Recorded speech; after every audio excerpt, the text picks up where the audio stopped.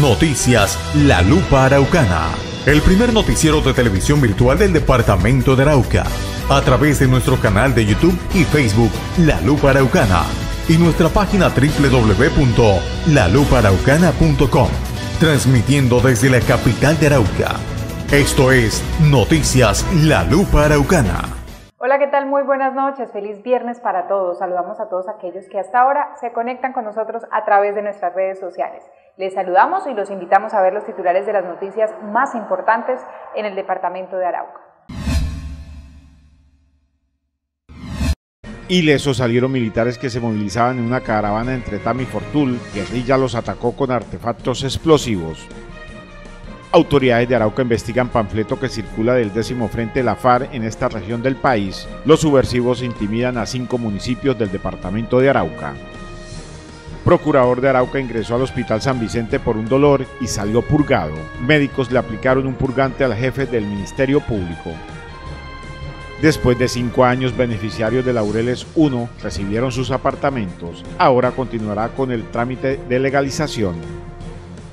Por fin Confiar hizo entrega a la urbanización Laureles 1 en el municipio de Arauca. Fue el dolor de cabeza de más de un beneficiario durante cinco largos años. Procuraduría Regional de Arauca fue el garante de la entrega de los apartamentos de Laureles 1, ahora le hace seguimiento a otros programas de vivienda en otros municipios. En el mes de marzo se pondría en funcionamiento el primer piso de la nueva torre del Hospital San Vicente de Arauca. Ministerio de Salud dotó en equipos con 1.500 millones de pesos. Comunidad le daña la cárcel de Arauca no aguantan más los malos olores del centro carcelario, desechos de comidas y hasta estiércol son arrojados a una cuneta en plena vía.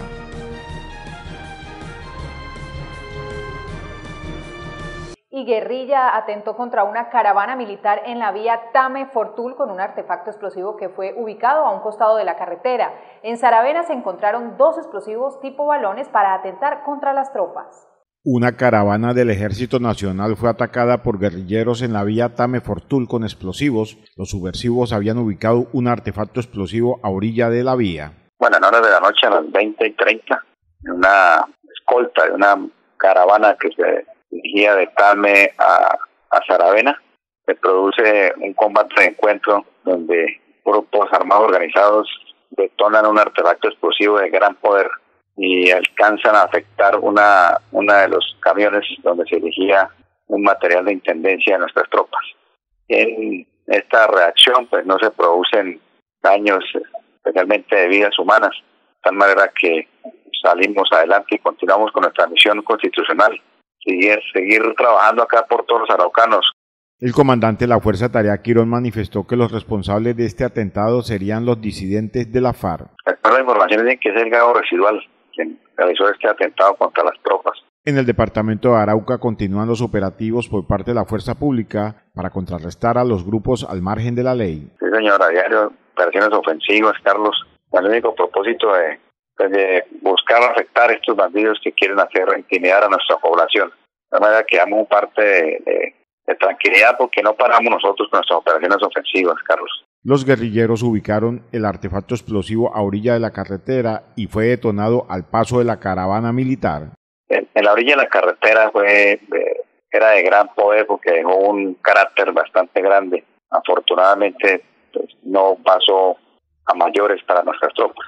El alto oficial aseguró que en Saravena fueron ubicados dos artefactos explosivos tipo balón cerca donde se encontraba el cuerpo de una persona que había sido asesinada. Sí, señor, hoy, hoy precisamente en Saravena también, eh, Carlos, después que hacíamos presencia para el levantamiento de, un cadáver, pues fueron, fueron descubiertos dos, dos artefactos tipo bomba, un balón de basquetbol, un balón de fútbol. Estaban instalados muy cerca donde estaba el Oxiso, y querían accionar una vez estuvieron las tropas ahí acompañando estos actos urgentes. Las fuerzas militares han desactivado varios artefactos explosivos que han sido ubicados en los diferentes eje viales y también en las últimas horas se ubicaron dos artefactos explosivos cerca a Filipinas. Sí, señor, fueron destruidos, Carlos, destruidos de manera controlada por nuestros grupos antiexplosivos. De igual manera, Carlos, lo actualizo, también hace unos pocos minutos allá cerca de Filipinas, cerca donde está el, el TCR, también fueron descubiertos cuatro eh, artefactos explosivos de gran poder que fueron destruidos de manera controlada por nuestros soldados. En los últimos días, las disidencias de la FARC vienen ubicando artefactos explosivos en las diferentes carreteras del departamento de Arauca con el fin de atentar contra las tropas del ejército. Y el décimo frente de las FARC intimida a la población civil mediante un panfleto en cinco municipios del departamento de Arauca.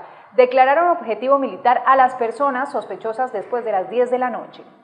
Varios municipios del departamento de Arauca amanecieron intimidados por un panfleto que circula a nombre del décimo frente de la FARC, donde amenazan que no responden por el tránsito de algunas personas sospechosas. La alerta la realiza esta organización ilegal a partir del 15 de febrero del presente año. Dicen que no responden por personas sospechosas o desconocidas que transiten después de las 10 de la noche en los municipios de Arauquita, Fortul, Tame, Saravena y la capital araucana. En su segundo punto del panfleto dice que la FARC-EP declara objetivo militar y accionará todas las fuerzas militares a toda obra que contradiga las costumbres sanas del pueblo. También estarán en contra de las bandas delincuenciales, ladrones, vendedores y consumidores de droga, violadores e informantes del Estado. En un último punto hace un llamado a la comunidad araucana a estar atenta al pensamiento oscuro que quien hoy dirige el Centro Democrático en el departamento de Arauca. Las autoridades de esta región del país analizan el panfleto que circula a nombre del décimo frente de la FARC en el departamento de Arauca para verificar su autenticidad.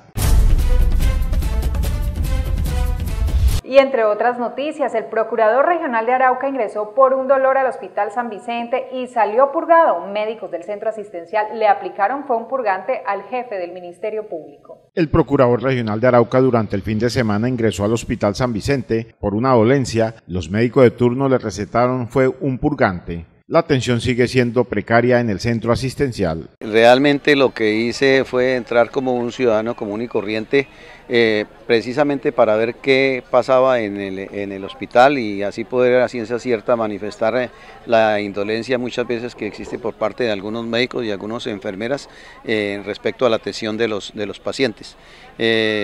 fue interesante vivir esa, esa, esa experiencia, la cual pues también lo hice a propósito, pero y así lo seguiré haciendo, cualquier dolencia que tenga, no necesito decir quién soy, sino espero que sea atendido como un ciudadano común y corriente y de la mejor forma.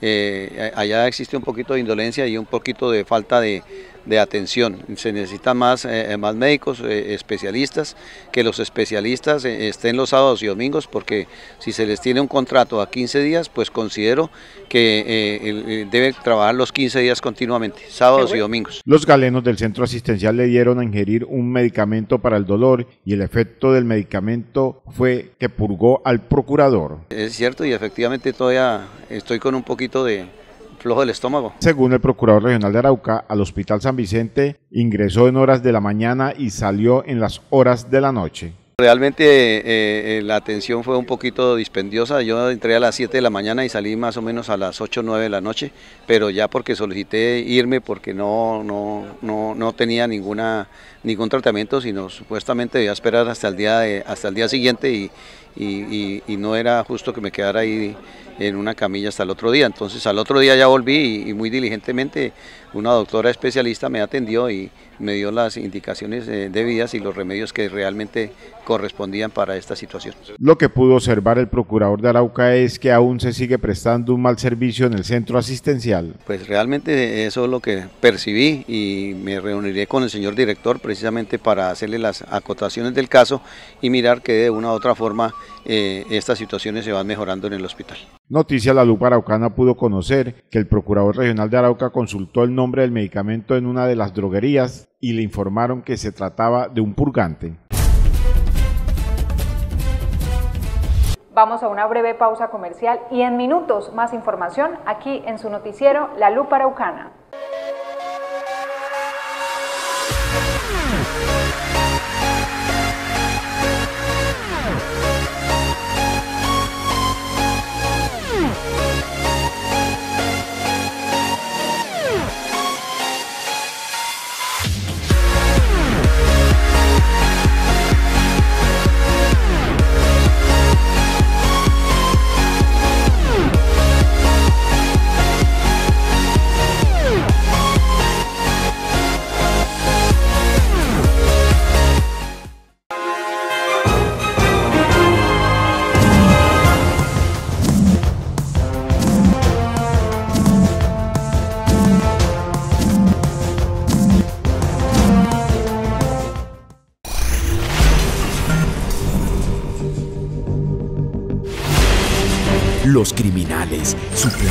Identidad para cometer delitos. Suplantan sitios web para robarle su dinero y buscan estafarlo de cualquier manera. Ingrese siempre a sitios web y aplicaciones confiables. Proteja sus datos personales. Solo haga transacciones desde un computador seguro. Sea prevenido en la web, navegue seguro y sea muy responsable. Reporte su caso en A Denunciar o desde su celular al 122. Fiscalía General de la Nación. Una fiscalía de la gente, por la gente y para la gente.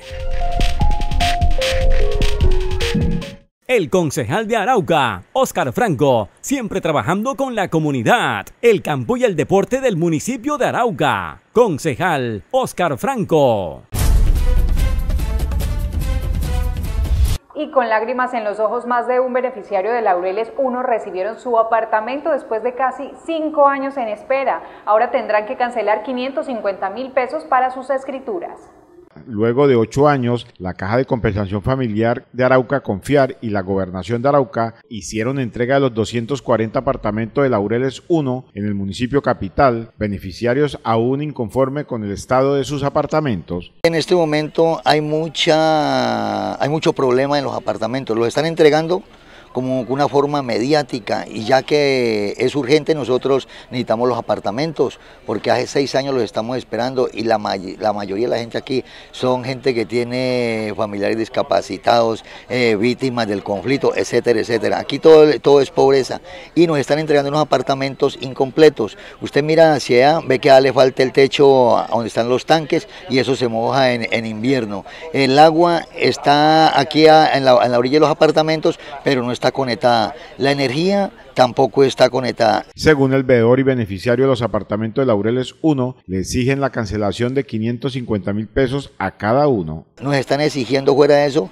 550 mil pesos que es que inmediatamente ir a, para poder utilizar los apartamentos. Eso no se puede hacer porque esto es, una, esto es un programa de vivienda muy diferente. Otro problema es que hay cantidades, hay por lo menos un promedio, a lo que yo sé, de 28 personas que recibieron un apartamento y tienen sus casas, su fin y eso está en un proceso de investigación. Entonces nosotros como usuarios estamos recibiendo por la necesidad, pero no estamos satisfechos. Los usuarios le agradecieron al Procurador Regional de Arauca por haber intermediado ante Confiar y la Gobernación de Arauca. Bueno, esos 500, yo hablando ahorita con el señor Procurador, que antes de antemano debo darle gracias al señor Procurador que se metió en el pecho estos programas de vivienda y todos los problemas que tiene el araucano, no solamente en vivienda, sino en salud y en todo lo que tiene que ver eh, con los beneficios que recibe el Estado, porque aquí están mal manejados. Entonces, gracias al procurador, esto está funcionando. Y los 550 nos dicen que es por,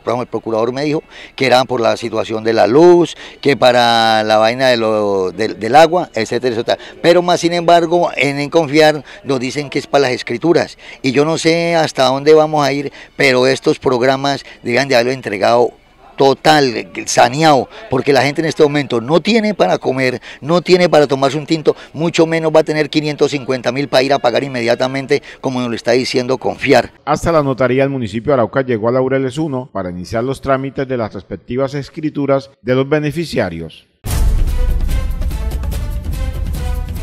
Y por fin la Caja de Compensación Familiar de Arauca, Confiar, entregó la urbanización Laureles 1 en el municipio de Arauca todos los apartamentos cuentan con los servicios públicos. La Caja de Compensación Familiar de Arauca Confiar por fin hizo la entrega de la urbanización Laureles 1 a los beneficiarios de los 200 apartamentos en la capital araucana. Sí, por fin pudimos hacer la entrega de los apartamentos. Eh, el día de hoy la Caja de Compensación desde las 7 de la mañana está presente con su equipo logístico para hacer la respectiva entrega física de todas las unidades habitacionales del proyecto Laureles 1, para que hoy dejen de ser beneficiarios y pasen a ser propietarios cada uno de sus respectivos apartamentos. Según la directora de los programas de vivienda de confiar, los beneficiarios de los apartamentos Laureles 1 recibieron con satisfacción sus apartamentos. Muy tranquilos, hay que destacar la participación de todas las personas, han sido muy cumplidas, han tenido mucha paciencia, han estado muy tranquilas y pues felices Finalmente, yo sé que frente a todos los obstáculos que se presentaron en todo el camino, hoy es un hecho, los apartamentos están habitables y pues bueno, creo que aquí hay de todo, ¿no? Lágrimas, hay gente feliz, hay gente muy tranquila y bueno, esa era la idea, la intención. Aquí estamos la gobernación de Arauca también está presente, está haciendo una inspección técnica también a cada uno de los apartamentos para garantizarle a los beneficiarios pues la vivienda que se les está entregando. Ellos también hacen una inspección junto con el equipo de, de la caja de confiar para firmar el respectivo acta de recibido. Posteriormente le protocolizan ante la notaría, que también está presente acá, por una gestión que hizo nuestra directora, la doctora Diana Galeano Reyes, y no se les está haciendo ningún cobro a las personas para que unas puedan legalizar esta protocolización y así pues finalizar ya con el proceso de entrega de llaves al final del día. Según la funcionaria de Confiar, los 550 mil pesos que se le exige es para el pago de algunos impuestos. Ese es el tema de legalización, ¿no? Eso es la parte de impuesto que ellos deben cancelar para hacer la legalización de la escritura que les entrega la gobernación de Arauca. Esto es un tema que ya se ha, socializado muchas veces, pero pues no es competencia de la corporación. Hasta acá llega a confiar, ya la parte de legalización eh, ya es directamente con la entidad otorgante que es el Departamento de Arauca. Las familias que legalicen ante la empresa de energía de Arauca en el AR y en CERPA contarán con los servicios de energía y agua potable. Sí, en estos momentos las personas eh, que legalicen tienen ya la luz porque ya en el AR viene y les conecta. Y lo mismo el agua, o sea, muchas personas dicen, pero es que no me sale agua. Si no van y hacen la legalización, pues obviamente no pueden abrir la llave porque empieza a correr el agua de los medidores y eso pues no, eso afecta también a, eh, en Serpa no lo va a permitir, ¿no? Básicamente, pero ya, ya los tanques aéreos todos tienen agua. La Secretaría de Planeación Departamental realizó una inspección a cada uno de los apartamentos de Laureles 1 del municipio de Arauca. Siguiendo con más información, la Procuraduría Regional de Arauca fue garante de la entrega del proyecto de vivienda de Laureles 1 en el municipio de Arauca. También le hacen seguimiento a los proyectos de vivienda en los demás municipios. El procurador regional de Arauca llegó muy temprano a la cita en la urbanización Laureles 1 en el municipio de Arauca para supervisar la entrega de los apartamentos a los beneficiarios. Sí, con beneplácito vemos que ya el día de hoy los eh, propietarios eh, adjudicantes de estos apartamentos los están recibiendo se están haciendo las respectivas actas a, cada uno de los propietarios, la revisión por cada uno de los propietarios para que eh, cualquier falencia que vean en su apartamento inmediatamente eh, la manifiesten para que eh, después puedan corregirse.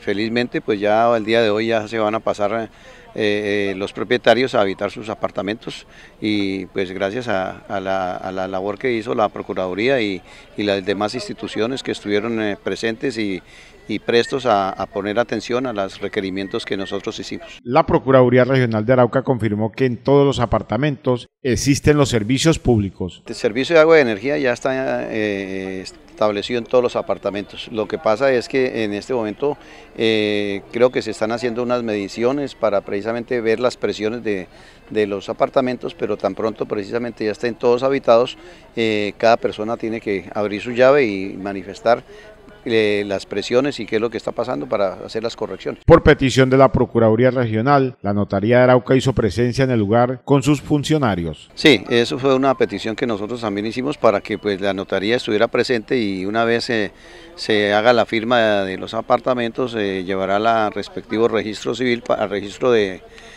propiedad para que cada cual ya tenga su escritura mm, legalizada. El jefe del Ministerio Público destacó la espera de los beneficiarios que superaron los cinco años de la entrega de los apartamentos. Realmente eh, felicito a los propietarios que por fin van a habitar estos apartamentos. De todas maneras, la labor de la Procuraduría continúa en eh, los otros municipios donde eh, también se están construyendo eh, apartamentos por parte de Confiar.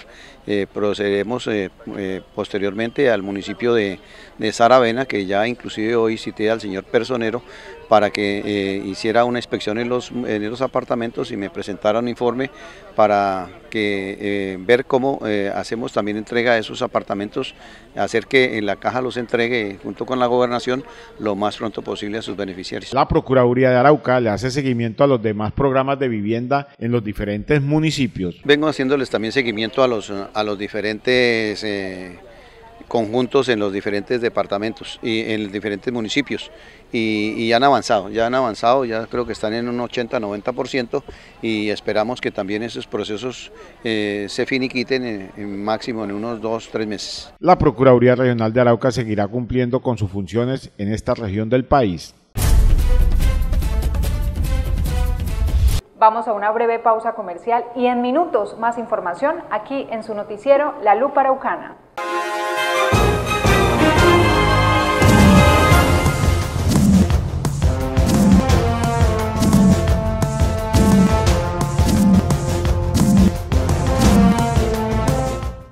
El concejal de Arauca, Óscar Franco, siempre trabajando con la comunidad, el campo y el deporte del municipio de Arauca. Concejal Óscar Franco. Ahora usted puede ser nuestro reportero con la sección Denuncia Ciudadana en su noticiero La Lupa Araucana. Con tu teléfono celular puedes grabar cualquier tipo de denuncia en su barrio o municipio del departamento de Arauca y enviarlo al correo la lupa araucana arroba gmail.com o al WhatsApp 322-303-6950.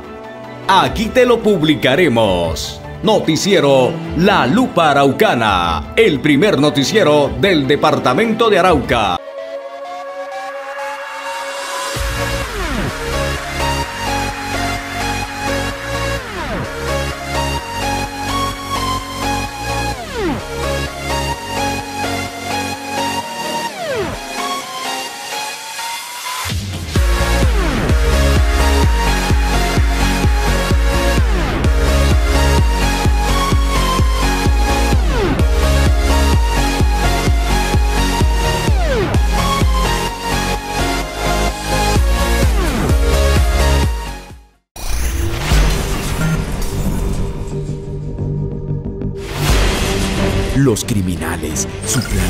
Identidad para cometer delitos.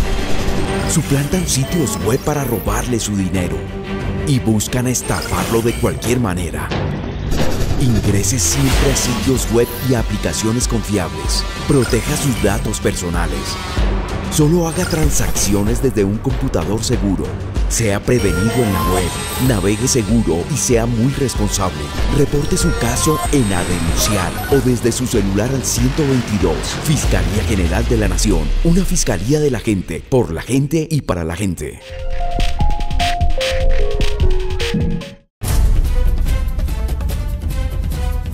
Y por otra parte, el Ministerio de Salud dotó con equipos gran parte del primer piso de la nueva torre del Hospital San Vicente de Arauca. En marzo se pondrá en funcionamiento este piso del centro asistencial. El primer piso de la nueva torre del Hospital San Vicente de Arauca está a punto de ponerla en funcionamiento para el municipio capital. El Ministerio de la Salud realizó una dotación por más de mil millones de pesos. Continuamos trabajando en cabeza de nuestro gobernador, del doctor Ricardo Alvarado. Eh, ustedes pudieron observar el día de hoy los avances que hemos tenido tanto en la nueva unidad de cuidados intensivos adultos como donde nos encontramos actualmente, que es el primer piso de la nueva torre. Eh, ustedes pudieron ver los avances que tenemos a la fecha. Ya tenemos incluso equipos biomédicos aquí en estas instalaciones. La parte interior se encuentra bastante avanzada eh, y la parte exterior, también ustedes lo han podido ver, se encuentra casi terminada en su totalidad.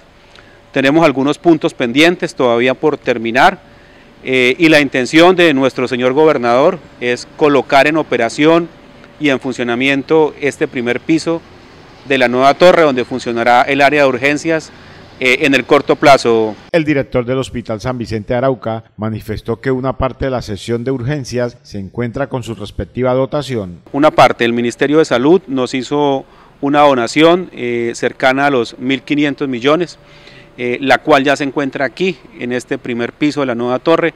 Eh, hemos adquirido por parte del hospital algunos equipos, sobre todo en la parte de cómputo y de muebles y enseres, eh, y poco a poco hemos venido dotando esta nueva área, Carlos. En el primer piso solo funcionará la sesión de urgencias para adulto y pediatría. Va a quedar funcionando solamente el servicio de urgencias, dividido o separado más bien eh, en la parte de urgencias adultos eh, y urgencias pediatría. Es un área, Carlos, que es aproximadamente tres veces mayor a la actual urgencias que tenemos, la cual pues ustedes conocen permanentemente está congestionada por lo pequeño que es esa área. Entonces eh, continuamos trabajando, Carlos, con, con pequeños pasos, pero cada vez más cerca de la inauguración de este primer piso. Según el funcionario, la subestación de energía del centro asistencial está en un 80%. Ayer lo decía el, el contratista de la subestación eléctrica, eh, está en un 80% terminada, pendiente la importación de tres equipos, tres, tres tableros que se requieren y se aspira a que la subestación esté terminada en el mes de marzo, exactamente a mediados del mes de marzo. La nueva unidad de cuidados intensivos la recibirá el hospital en el mes de marzo. Las instalaciones de la nueva unidad de cuidados críticos, que también está terminada prácticamente, eh, el contratista nos hace entrega iniciando el mes de marzo al Hospital San Vicente ya de manera formal con todas las pruebas técnicas realizadas y el hospital aspira que entre los meses de abril y mayo también coloquemos en funcionamiento esta nueva unidad de cuidados intensivos adultos que tiene una capacidad para 11 camas. El resonador estaría llegando en el mes de abril al centro asistencial. El equipo resonador le va avanzando también. Se aspira que en el mes de abril llegue el equipo aquí al Hospital San Vicente. Es un equipo pues de unas, de unas características en cuanto a tamaño bastante grandes. Eh, va a ser el primer equipo resonador eh, en el departamento de Arauca, el primero y el único en este momento. Como le digo, se aspira que en el mes de abril esté el equipo ya en el hospital. Simultáneamente se va a instalar la jaula de Faraday, que es la, protección o la coraza que tiene el equipo. Eh, y la meta que tenemos junto con la unidad de salud es que en el mes de mayo este nuevo equipo resonador entre en funcionamiento aquí en la institución. El primer piso de la nueva torre del Hospital San Vicente de Arauca será inaugurado en el mes de marzo y puesto en funcionamiento. Y la comunidad denunció los malos olores que causan los desperdicios que salen de la cárcel de Arauca y caen en una cuneta del centro penitenciario. Hacen un llamado a la unidad de salud para que inspeccionen el lugar. Los habitantes aledaños del centro penitenciario y carcelario de Arauca no aguantan más los malos olores de los residuos de comida y hasta estiércol que cae a una zanja en la calle cerca a la cárcel. La situación que tenemos es la problemática de los malos olores que tenemos todos los vecinos eh, aledaños al establecimiento penitenciario y carcelario de Arauca. Eh, no nos aguantamos los malos olores, eh, la contaminación que hay por esos olores en cuanto a esa zanja que tenemos aquí aledaña y esa zanja le corresponde al IMPEC. El IMPEC le hemos notificado y ellos no nos prestan atención, entonces de ahí salen los olores fétidos. ¿Por qué? Porque ahí eh, salen los desperdicios del rancho del, casino de los internos, de donde preparan los alimentos, y además a eso salen heces de las necesidades básicas de los internos. Como ustedes pueden observar, ahí se evidencia totalmente la la zanja tan putrefacta que tenemos y nosotros tenemos que aguantarnos esos malos olores. La comunidad de la calle Ciega del barrio La Esperanza le hacen un llamado a los entes de control para que acudan al lugar. Hacemos un llamado a los entes de control que por favor nos ayuden ya que el señor director no nos presta atención en cuanto a esa problemática que venimos ya presentando hace varios meses atrás. También denunciaron que en esta calle existen varios vehículos del INPE que se encuentran abandonados desde hace varios meses. Y la otra problemática que tenemos y que queremos denunciar es la inseguridad que hay en cuanto a esos carros que se presentan, que están ahí contigo al INPE, que no sirven para nada, no prestan ninguna utilidad y entonces eh, nosotros nos vemos, nos sentimos en amenaza porque eso se presta para eh, cualquier guarida de, personas que están eh, al acecho. Entonces, por favor, que nos ayuden y nos presten un poquito más de atención. Los habitantes del sector han denunciado ante los entes de control del municipio de Arauca, pero no han acudido al llamado. Ya hemos estado adelantando esa gestión en cuanto a la Procuraduría eh, para que tengan conocimiento de esta situación que estamos nosotros aguantándonos aquí los vecinos del Centro Penitenciario y Carcelario de Arauca. También la comunidad le ha hecho el llamado al director del INPE en Arauca para que no arrojen más los desperdicios de los alimentos a esta cuneta que estaría contaminando la calle en Arauca. Y hasta aquí una emisión más de su noticiero La Lupa Araucana. Agradecemos a todas aquellas personas que se conectaron con nosotros a través de nuestras redes sociales. Los invitamos a que nuevamente lo hagan el próximo lunes a partir de las 6 y 30 pm. Feliz fin de semana para todos.